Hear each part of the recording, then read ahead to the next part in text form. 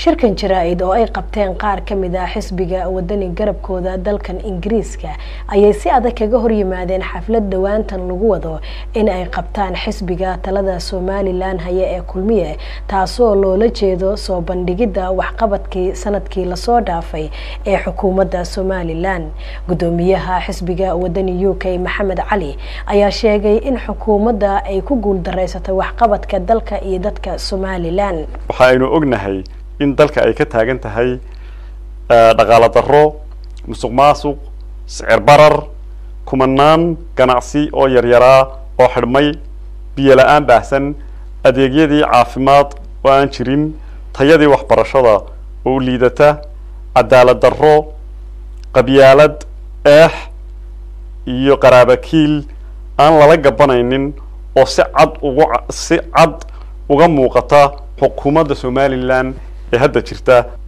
waxaynu ognahay in gobolladii bariga ee somalilan ay gacanta xukuumadda somalilan ka baxeen.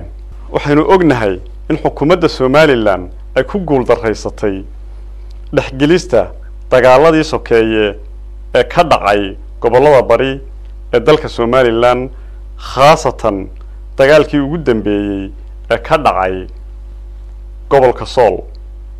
Tusaale ahaan dowladda somalilan waxay u dirtay dagaalkaas ka dhacay sool. Wafdi uu hogaaminayo wasiirka arrimaha gudaha somalilan toddoba toddoba iyo toban maalmood kadib markii ay dha markii dagaalkaasi dhacay. Waxa uga soo horreeyey oo ka horgaadhay ergooyinkii waddamada kale ka yimi oo qaboojiyey dagaalkii dhexdhexaadintiina galay annagoo ah guddidii sare ee xisbiga waddani waxaanu caawa halkan ku cambaareyneynaa safarkaa ay ku soo baxayaan ay ku soo imaanayaan wasiiradii dowladda somalilan ee uu hogaaminayo madaxweyne ku-xigeenkoodii wasiiradoodii iyo guddoomiyihii sare maxkamadda halkaasoo ay ujeeddadooda ay leeyihiin waxay tahay inay ku mideynayaan qurbo joogtii yurub taasina aanay suuragalba ahayn.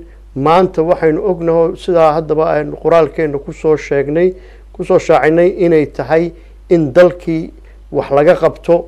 Weliba waad arkaysaa colaadaha soo noqnoqonaya ee eheliga ah inay ku baxaan bay ahayd inay wax ka qabtaan bay ahayd.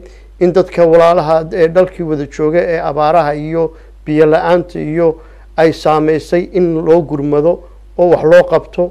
Wuxuu yihi meyd maxaa ugu dambeeyey? Kaa la sii sido? Waynaga arkayna waxa lascaanoodii ageeda ka dhacaya.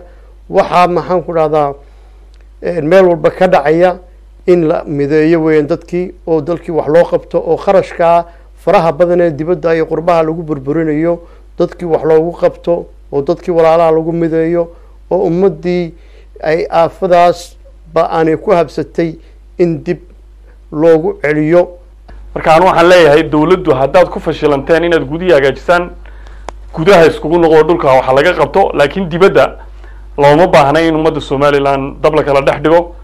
In shir loo qabto ummadda somalilan waa dad midaysan dibadda dadka gudaha ka wada rabshadu iyaga rabshadda ha ka daayaan oo ummadda somalilan ha mideeyaan midnimadeeda ha ka shaqeeyaan. Iminka waxyaabaha ugu badan ee dhulka ka socdaa waxa weeye shaqaalihii oo la erayayo nin waliba meel kastoo aad tagto maanta shaqaalaa la eraya adduunkana shaqaalaa la raadiya. Sidii dadka looga saari lahaa shaqala-aanta waxaa dhowaan gobolka awdal ka dhacday wasaaradda caafimaadka. I think xogeeye loo soo magacaabay inuu saddex boqol eriyey oo weliba seniorkii shaqaynayey ilaa dawladdiisii aad barre qaaray shaqaynayeen. Oo dadkii ugu experienceka badnaa ahaa wasaaradda waxbar wasaaradda caafimaadka. Marka waxaa loo baahan yahay intaad dadka ereysaan dadka shaqo abuurtaan sicir bararka ka dhintaan lacagtaad dibadda ku burburinaysaan dalka dib u gelisaan wax ugu qabataan. Dibadda loogama baahna inaad lacag intaad la soo dhooftaan. Aad dadka iskugu yeedhaan oo hodheelo lagu kareeyo looma baahna. Aad baan u salaamayaa ummadda somaliland meel kastoo ay joogto waxaanan leeyahay ha loo fiirsado wax kasta oo dawladda maanta fashilan ay wado ood arkaysiin. Dhulkiibay ka shaqeyn kari laadahay dibaddana waxba kama qaban karto. Aanu ugu baaqayno taageerayaasha xisbiga wadani inaan laga qeyb gelin shirkaasi magaalada london. Markaad eegto xukuumadda somalilan meelo badan oo waxqabad leh ayaa ayaa ayaa ka ka mudan in shir lagu qabto london. Meelahaasi waxaa ka mid ah in ciidamada dhakhaatiir loo sameeyo cisbitaalo loo sameeyo in masaakiinta meelaha fadhiya loo sameeyo xisbiga mucaaradka ah ee wadani ayaa waday muddooyinkii ugu dambeysay shirar iyo eedeymo ka dhan ah xukuumadda somalilan taasoo ay shacabka ugu soo bandhigayaan dhaliilaha xukuumaddu ay leedahay. Cali maxamed yare calson t v london